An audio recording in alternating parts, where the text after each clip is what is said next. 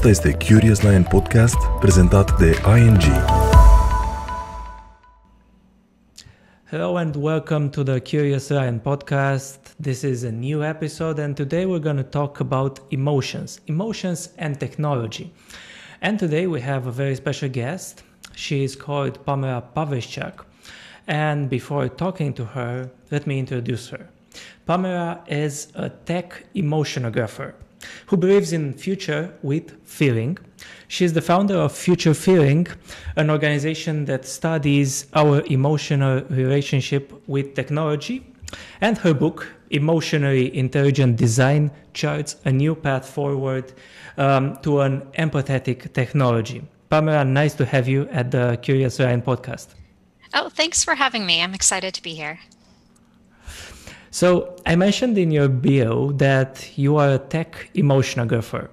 And before jumping into a deeper conversation, I think that everyone um, is curious to find out what exactly is a tech emotionographer. Well, I couldn't find the right way to frame what I do to people. Uh, you know, so I came up with the term because I thought about, well, geographers, what are they doing? They're trying to map the the lay of the land to figure out kind of what the territory is and to really um, chart a way for other people to understand it as well. And I thought that was a pretty good analogy for what I do because I spend a lot of time doing um, creative kinds of research and hosting conversations and playing around with a lot of different technologies to understand what's next for emotion. And how did you become interested in this relationship between technology and emotions? Well, I'm a researcher, so I've spent a lot of time over the past decade or more, uh, you know, talking to people, observing people, uh, trying to understand people use technology. And it occurred to me that we're missing this big piece as technology creeps into more and more of our everyday lives it's emotional. We have a relationship with each other through technology, and we have a relationship with the technology itself. And if we leave that part out of it, I think we're missing out on something that really makes us human. So uh, I'm glad that you mentioned uh, this because um, in your in your book, which I mentioned, emotional intelligent design, you are talking about the fact that technology evolved. It gathered, as you say, IQ, it gathered intelligence, but lacks emotions. So let's start by talking um, about this. Should technology think about emotions, or, or, or is just a means to an end? Yeah, I think it's a big question. I don't know if I have an answer to that. I think it's one that we need to to think about and explore though because what's happening now is there's a lot of new technology evolving that is trying to understand human emotion and um, detect it through signals like our face or our voice or even our pulse or anything like that. Um, trying to interpret those into some categories and then use that to either adapt the technology itself or to kind of mirror that back to us and have a more empathetic experience. Now, right now, it's very early days. It doesn't work very well. And there are a lot of problems with it. I think right now, it more it's kind of like a toddler, you know, it's really at this early phase where it knows some really strong emotions, but it doesn't differentiate very well. And it reflects back to us um, some of our stereotypes about emotions too. And so it's you know it, it, it's an interesting mirror to hold up to ourselves and to see like oh how do we express and experience emotion and how can technology make sense of that? But it's pretty pretty basic right now. I think that um, um, in in the past um, our relationship with technology was one-sided. Uh, if we think about uh, how technology evolved, um, talking about I don't know uh, music. Uh, uh, we were just listening to it. Um, mm-hmm. Then the, came the TV, and now we are entering this phase where it's not just a one-sided conversation where technology transmits to us something from from another world, yeah. but it also starts to understand us more and give us more information based on what we're feeling, what we're thinking. So, how did it change, uh, and how does it change us? This this switch to not just um, a one-sided conversation with technology. Yeah, it's well, it's already happening, right? That technology is trying to yeah. understand what we look at, what we search for, what we buy. Um, and now with the global pandemic, there's lots of new tools trying to understand um, what our coughs mean or our temperature as we go into a building. Uh, a lot of those same signals can be used to try and understand emotion and i so i think that is a different phase that we're in. But it's interesting because it's happening at the same time that technology is still mediating human to human communication as well right? So here we are on zoom and it's a little strange right? Because it's kind of cool in one way because you're yeah. far away. Um, but at the same time like ha- are we really making eye contact? Or are we making eye contact with the camera? And same for social media. It's like we're we're making contact with each other but it's through this lens of technology. So there's there's layers to it. And i think you know it's absolutely right to think about the fact that we design technology to to help us communicate, express ourselves, experience things, but it designs us right back in turn, you know, and it changes and shapes how we relate to each other and how we feel about things too. And I think that's something that it's hard to predict where that's going to go. What we want to happen though is for it not to limit us, not to label us and say, yeah, you're this or you can only do this. That's our big frustration right now with technology that knows us, right? And the most basic form of that is like ads that follow us around. Mm-hmm. and we're like, yeah, I already bought that. Or that's not me anymore. That was me like a few months ago. Now I'm over here. And to have technology that sort of recognizes how we evolve and change we're just not there yet. It's interesting that you mentioned um, uh, this thing about about a Zoom conversation because right now I'm I'm looking into a camera, an outside camera from the laptop, but when I'm talking with someone over the laptop camera, it's very weird right now, and I didn't understand that before the pandemic. That yeah. if you want to look into the person's eyes, you cannot look into the camera on on Zoom. So it's it's this constant switch between I'm going to look in the camera because I want that person to see me that I'm mm-hmm. watching him or her, but also I want to look at at that person and I cannot do it. I know, I know. It's, a, it's, kind of it's kind of funny to think about. And so imagine if, you know, a couple years out we layer onto that some kind of readout of what we're feeling um, it's hard enough, right, to look at somebody, to look at them on screen, to look at the camera, maybe to follow chat. And then we may have other sort of readouts of like, um, you know, what their tone is. Uh, we're seeing lots of products emerge along that lines already. I mean, there have been some in the past, but Amazon's Halo, for instance, um, is a wearable now that gives you feedback on your tone of voice. And I guess the assumption is you'll learn something from that and maybe adjust your tone once in a while, or, or, or I don't know, feel self conscious at least. so I yeah. think it, it's very true. It's you know we're we're adding this kind of intelligence and we're trying to add some emotional intelligence, but it's one big experiment and we're experimenting on ourselves in the midst of all of it um, going back a bit to the evolution mm-hmm. of, of technology and I and I remember an, an, interview that I saw and I liked very much with, with David Bowie. Mm-hmm. Um, it was around 2000, and he was talking about the internet. Mm-hmm. And now nowadays it's it's perceived as one of the um, most interesting conversations about internet before internet is became what is today. Um, he was calling it influential and um, Aryan life form, not just a medium. So, what did the internet do to our relationship with technology?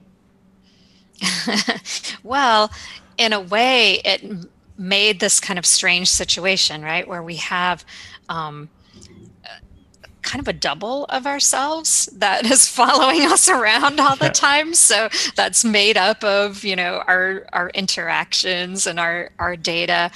Um, it's also changed our relationships with each other though too in you know obvious ways like it's shortened distance we're able to be in touch with each other um, we're able to to connect in new ways but it's also given us new ways to formulate how we communicate to each other. So if you look at say informal language and all the writing that we do um, that's certainly changed. And i think the same holds true for how we express our feelings. When we're on the internet we have really strong feelings and we can spread them far and wide really quickly for good or bad.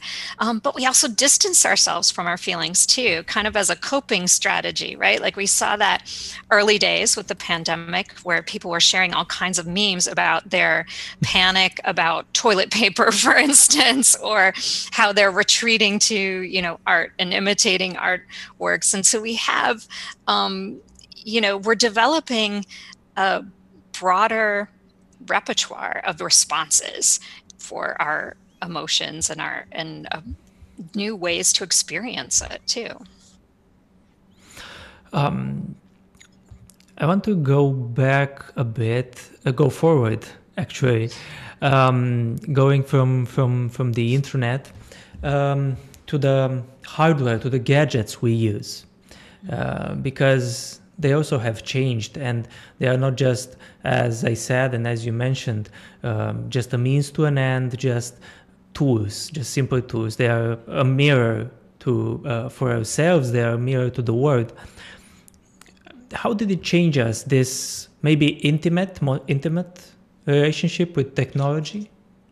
Yeah it's so interesting because i think if somebody had said to you 10 years ago that you're gonna look at your phone and touch your phone more than like your pets or your partner. You'd be like oh no no way no way. But um, that you would reveal details to um, you know to google in your searches that you wouldn't share with anyone else we would say oh no that's that's ridiculous. We would never do that. But here we are doing that and there's something about technology that is so close to us. It's in our hand, it's in our pocket, it's right in front of us on our desk, that it feels very intimate. It feels very personal, and we tend to, to open up to it. We also feel a little disassociated with our regular self, so that we, and that can be good, that can be really freeing, right? You can take on sort of a whole new um, kind of persona but it can also be uh, make you feel a little too disconnected from people. So it's this weird feeling that we're dealing with where we're we're kind of this freedom and the sense of of being connected with people but also at the same time apart and standing back and and distanced and i think a lot of our gadgets really um, layer in that complexity for us because it's such an intimate space that we have with them and I think that because you mentioned that it's also um, gadgets and, and, and are bringing a, a bit of freedom and a, and a different persona for us. And I was thinking, and I don't know if we do it this if we do this um, um, consciously, because um, for example, uh, we see this online with um, this polarization, not just political, but with mm-hmm. any any subject, and people are being more free to write, to comment. Um, maybe they are more aggressive and less empathetic than they would be in real life. And I was thinking, who are we? For example, if online I'm taking I'm taking my phone and I'm and I'm just a hater, I'm I'm commenting and everything, but in real life I couldn't do it. Mm, I, I, yeah. I, would be ashamed of me of talking like this. I mean, if if I I would read out loud my comments hypothetically. Yeah, yeah, we haven't built in that that sense of. I mean, it's it's all those social emotions that we have, right? And some of those are good. Those are like compassion and empathy and altruism that we'll feel in person when we're seeing somebody, um, or even through technology when we're when we're confronted with people face to face, right? But there's also so many negative social emotions too, like you said, shame and guilt, and those can have positive effects. Um, a little bit of a little bit of shame at your behavior, a little bit of guilt, kind of holds society together in some ways. And I think we're also just grappling with how you know, we know in our personal circles, like say your immediate family, how emotions can be contagious, right? One person's in a bad mood, suddenly everybody's, you know, angry and slamming doors and whatever. So you can tell I live with teenagers. And um, you can, you know, but online we don't see that effect as clearly.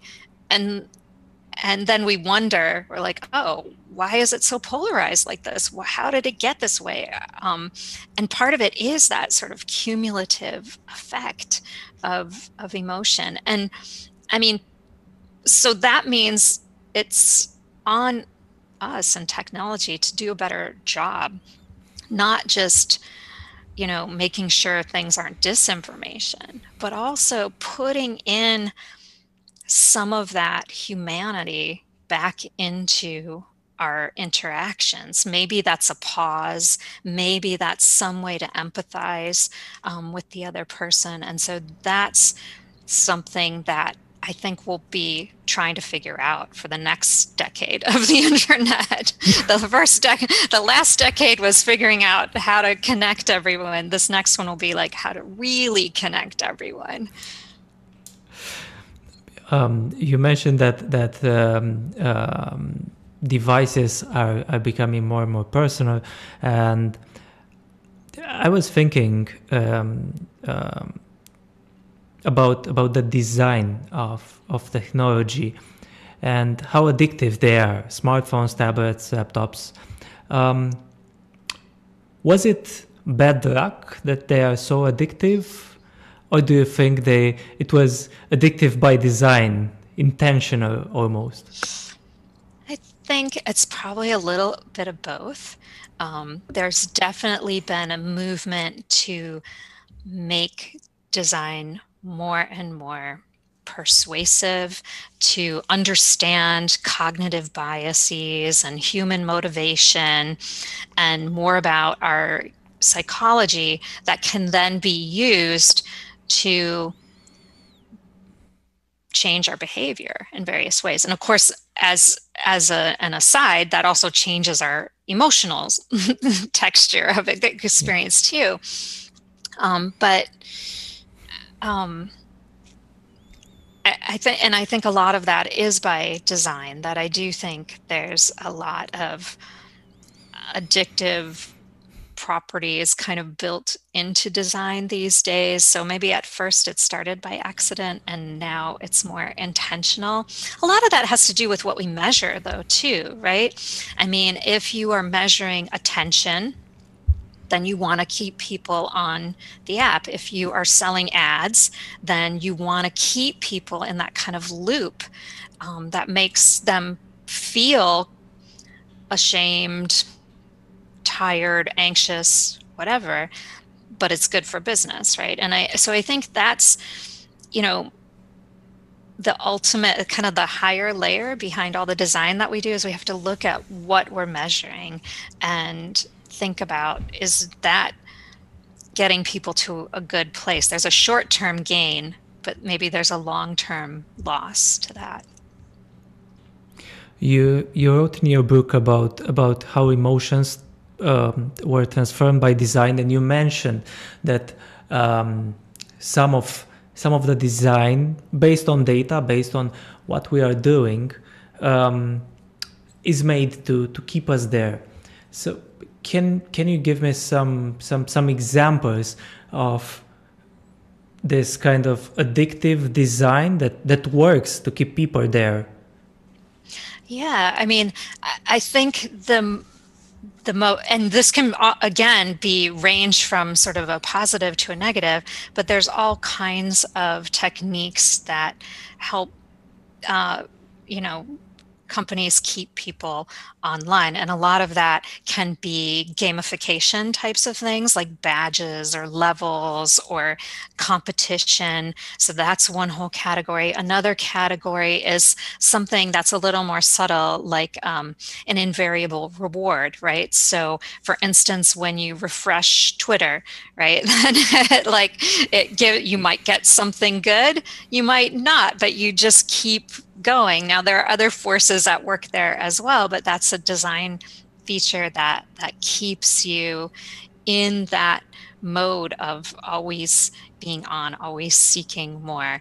Um, some of it is just design techniques that keep us connected with other people, right? We have a lot of things that we that keep us engaged, like um, managing our own reputation um, and getting that kind of social validation or feedback. And so you see that in the form of likes is the most basic one where it can keep us engaged. We're, we're, looking did we get more? How many did we get?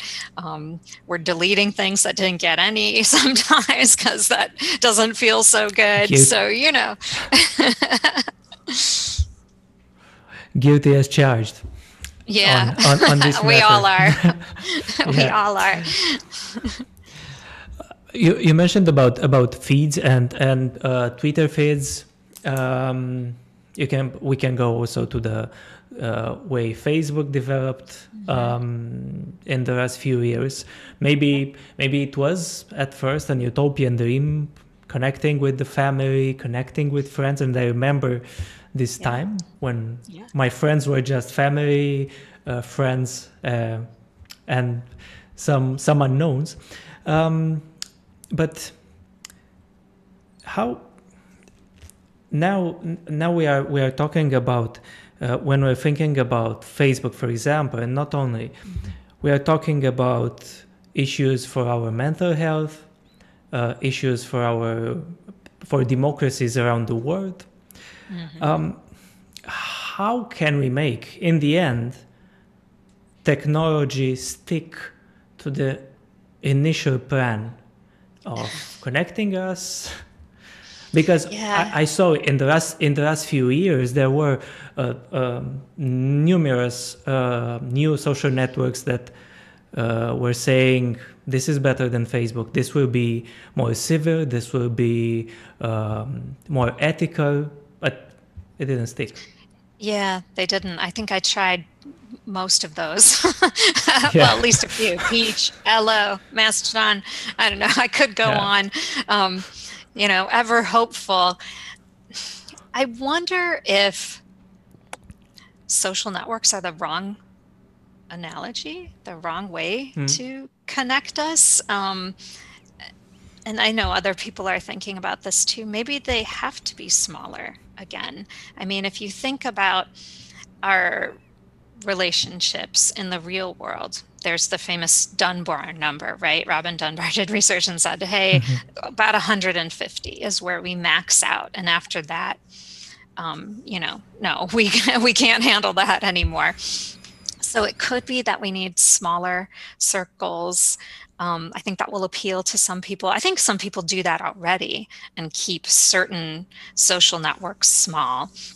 Um, but there may be things that we can do with the design to help put some guardrails on on things to give people time to reflect. You notice Twitter's starting to do that now by um, having prompting you to comment on a retweet rather than doing it or labeling disinformation. That's a good start. Um, I don't think it's going to solve the, the issue entirely, but maybe there's something that even is beyond these social networks that we need to be more experimental with and i don't know what those things are yet. I can imagine you know mm. smaller conversations though taking hold for sure. That seems like an easy one. Yeah if i if i remember well maybe two years ago mark zuckerberg said that uh, ironically the future will be uh, private when talking about about groups. Yeah yeah i know i know um, when talking about groups on Facebook and uh, restraining basically the conversation outside the newsfeed, which is like howling at the entire world if you are doing it publicly. Um, but when when thinking about about doing smaller numbers in technology, can you see a future where technology can address for for someone a smaller number of people and also be be a good business because it's always nowadays on the internet about big numbers about yeah. getting the more more and more engagement likes ads everything yeah, I mean, part of it, it's all interconnected, isn't it? I mean, you have yeah. this this business model that is ad based, so that's attention based, and that kind of works against our mental health and our well being and and uh, the spread of disinformation as well. Um, so that model poses a challenge, right? Um, the fact that the space is tends to be controlled by a few big players, I think, is also a challenge for smaller startups. The idea of a startup maybe not wanting to scale beyond a certain point seems, you know, unthinkable right now. Mm-hmm. But that could be a, a, solution you know so part of it's the model part of it is the patterns we use and what we value so a lot of our design patterns are geared towards short term driving up numbers so that you can show a good quarter or get more funding or whatever the goal is. Um, what if we thought longer term? Then we might look at patterns that are emotionally sustainable, that build a relationship gradually, that um, factor in positive patterns like we know are are true like gratitude right there's tons of research that says if you're thankful for things in your life and you spend a little time doing that each day you actually become more altruistic too you know so there are things that we could explore from the design piece, but we also have to look at kind of the, the business model piece of it as well. They're they're intertwined. You you talked about gamification, and it's not just only on um, on social networks. We see this in apps. We see that in in gaming, where nowadays developers are using tools that can basically um, simulate our our journey to to a, a, technological product. They know where we were stuck and maybe open a gate for us, mm-hmm. then to close it again. Um, how can we balance this this use of of data, which is fascinating in the end, using big data mm-hmm. to to understand um, the way we are using products, which may be a more ethical approach. Yeah, I think that's, I mean, as you can see from all the conversations and technology now, I think that's one of our biggest challenges. It's often framed as an ethical challenge. Like, how do we balance um, keep, to keep collecting this data, but do it in an ethical way so that people know what we're collecting, that they have a say in how that's collected, and then they know how it's being used. We haven't met that challenge yet, right? That's still, we're still figuring that part out. I think it's promising that that is a big discussion in our field right now. I also think that at a certain point, our are the people who are using technology have become a lot more aware of these techniques and a lot more conscious of how technology might be designed to have a certain effect on them. And I wonder if that's not going to be an area of pressure in the next few years is that that people will actually push back a little and say like, yeah, that's I, I don't want that. Or if especially if there's a choice and an alternative. And I think the gaming space is much different from social networks. Social networks, right? It's like all about the people, and that's a hard challenge. But with games, there's lots of choices. And um, you know, the current gamification techniques actually don't work on everybody anyway, right? Not everyone's into like competition and levels and badges and all that. Um, in the first place so it's kind of limited. So i think that you know that area may see uh, some pushback especially since in also in gaming there is um, so the the DSM for psychology does have you know online gaming addiction as a as a condition whereas like online addiction isn't yet because they're still defining it i think. Not because it doesn't exist but because they're still figuring out how to define it. But for gaming there is. So i think that this is another um, way that people might become more aware of that and and offer a little bit of um, you know a, a stop.